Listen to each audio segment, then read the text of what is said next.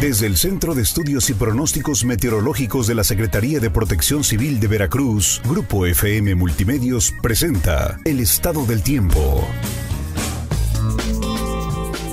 Una vaguada remanente en el suroeste del Golfo de México mantendrá el flujo de aire marítimo tropical hacia la entidad veracruzana, donde se ha observado nubosidad en la zona sur del estado y cielo despejado en el resto de la región. Se prevé que dicha vaguada se fortalezca en este fin de semana y que se combine con el paso de la onda tropical número 9 por la zona ístmica de Tehuantepec de la tarde del sábado al domingo y se extienda la probabilidad para lluvias y tormentas, algunas localmente intensas con acumulados de 20 a 50 milímetros y puntuales superiores a 70 milímetros. No obstante, seguirá dominando el ambiente cálido durante este periodo, con sensaciones de calor superiores a 40 grados, principalmente en zonas de llanura y costa. Por todo lo anterior, se recomienda mantenerse informado de las actualizaciones del pronóstico del tiempo y extremar precauciones. Le informó Lucía Villalón.